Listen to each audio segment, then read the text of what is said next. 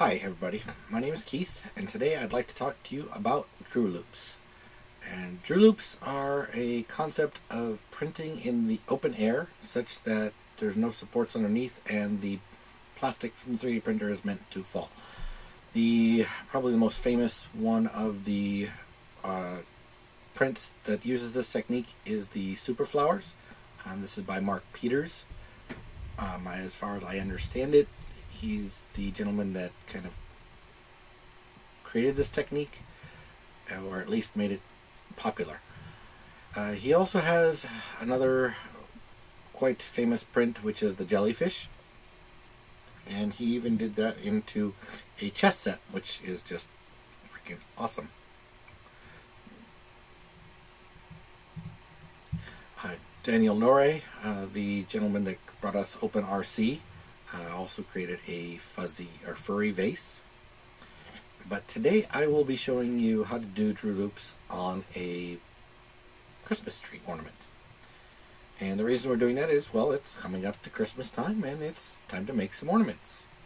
The Christmas tree is designed uh, to be printed at a 0.25 millimeter layer height with a 20% infill and a 0.5 millimeter perimeter width. So, unfortunately, because I have a 0.4 nozzle, we'll have to make a few adjustments um, because the loops themselves are 2 millimeters wide, and so we have a little bit of things to do to, to make these loops actually fall down appropriately. But uh, let's go ahead and get started. Uh, again, we're going to print this Christmas tree and uh, I will be using uh, Simplify 3D for this because I have a couple of tweaks that I want to make to the printing technique that I am familiar with doing in Simplify 3D. Mark Peters has done this in Cura, so there's no reason it can't be done in other slicers. I just wanted to do print the trunk of the tree and the tip of the tree at different speeds and different temperatures than the actual loops themselves, which is why I will be doing it in Simplify 3D. Okay, so we drop our model in, and then we're going to slice them up into three pieces. And those three pieces are the trunk, which will start or start at the bottom, go all the way to the bottom of the loops, and then we have the loop section, and then we're going to actually do the tip a little bit separate. Um, the reason I'm doing this again in Simplify 3D is I want to print normally for the trunk and for the tip. I just want to do the droop loop technique for the actual loop portion and not the rest because you get really good results on this technique if you print real slow and so I don't want to print slow here uh, because it just doesn't need to be done that way.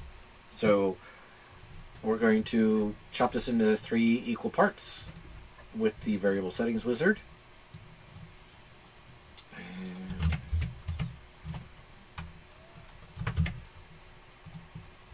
And, then the other location should be 8775. So now we have three sections. All right. Looking at the processes, we're going to go ahead and just print pretty much normal. Get our layer height set at 0.25, which is what they recommended for the tree. And that kind of comes into play especially when we talk about layer 350 as per the write-up. He talks about putting cooling back on at layer 350. So that layer number is kind of crucial if you are doing it in a in non-simplify because um, you may actually need the layer count as to when to actually turn cooling back on. But in Simplify, since we've already created into regions, we don't need to worry about the actual layer. But it'll come into play later nicely. Um, infill, we're going to go ahead and leave at 20% for the whole thing, uh, just like they suggested. Temperature, going to print my normal 195 uh, for this Hatchbox Translucent Green PLA. Now, this works really well with PETG if you have it. The recommendation in the write-ups is a material that gets nice and oozy, which is why I'm going to up the temperature for my loops when I'm printing because this PLA tends to start getting really kind of goopy if I print it really warm. So I'm going to turn up the temperature quite a bit. So I'm going to leave everything normal um, on the actual printing as far as the cooling for the first portion. Making no changes here or there. One other thing I will point out is the internal thin wall type does need to be set to perimeters only. If you have it set to gap fill or single extrusion fill, uh, it, may, can mess with your loops. That is extremely important in the process for the loops themselves, not so much for the trunk or the tip of the tree. Alright, so we'll go into the actual loop portion and we're not going to change anything on these. Uh, the perimeter count for the loop portion is critical if you're using a 0.4 nozzle on this tree because the width of each of the tree stems is 2 millimeters. Uh, 0.4, sorry, as 2 millimeters, the 0.5 nozzle that it was designed for, there is no infill. And with a 0.4 nozzle, if you do two perimeters, you will end up with some infill. So you need to do it, tell it that it's going to be three, and we'll see some what happens with that uh, later on. All right, I'm going to leave infill on. We are obviously no support for this technique that's the whole point. I'm going to turn the temperature up on my PLA to get it nice and oozy here.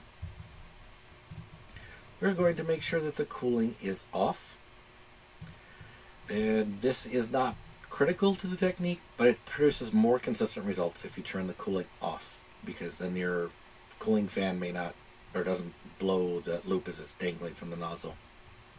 So it lays down pretty consistently. So we turn cooling off.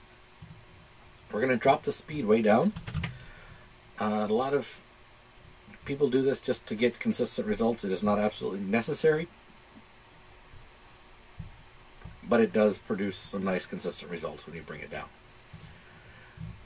And then again, now, again, critical to this portion of it is that the thin wall type be set to perimeters only. And we're all set there. And everything should be in place for our tip. Just checking to make sure. Layer height. Fill no support temperatures back down to normal cooling. This cooling setting should be just fine because it should turn the fan back on to 60%, but I'm going to actually kick it up and tell it that after layer 2, bring that fan right up to 100%. Um, that's going to really cool off that tip because the tip is really small and detailed and we want to make sure that it gets really cold uh, before we print any more on it. Another tip that was mentioned in the comments on getting the tip to form nicely is that you print more than one tree at a time so that you've got the added time of the nozzle movement from tree to tree for cooling time. So you may want to print more than one tree at a time if you're really concerned about the hanger portion. Speed is back up to normal and we are all set. Alright, so let's go ahead and slice this up. And we've got this beautifully sliced tree. Now, the critical parts are that you see that the loops themselves are perimeter only and the best way to show you that is to do single layer and let you see these loops. So the dark blue is the exterior perimeter, the light blue is the interior perimeter, and we see that this is where the 3 comes into play on the interior perimeters. Because the width of these apparently either is not consistent or is just off just enough that the slicer wants to make them different widths. Sometimes there's enough for another full pass inside or not, as you can see.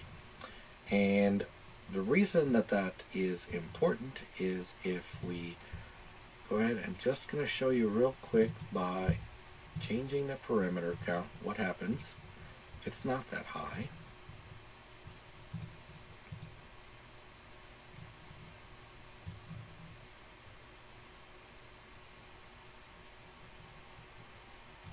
Alright, so now we get some infill in these loops. And what happens with that is we then get this little fuzziness going on because we've got a lot of material being extruded for the infill and it creates these really long strands because it's zigzagging back and forth so it's extruding a lot of material uh, over that same distance that it would for the exterior perimeter and you get this very inconsistent result uh, around it now it is a cool effect and if you're going for it go ahead and leave it in there but if you want consistent you want everybody to kind of the same height you want to get rid of that infill so we'll go ahead and edit this back to tell it that there are three parameters.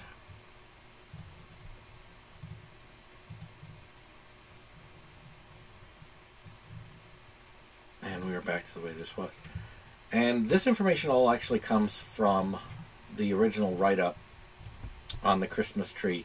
You can see here he's got his exterior perimeters, his interior perimeters, and he only actually did have two trips around because I'm guessing he uses a 0.5 nozzle as opposed to the 0.4. Um, so difference there, and that and you want to make sure if you go ahead and print anything else using this technique that you don't get any kind of infill on those loop portions of your print.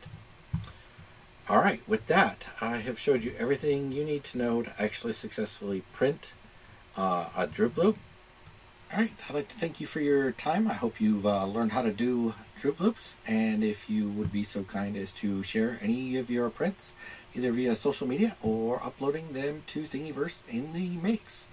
And thanks again. We'll see you next time.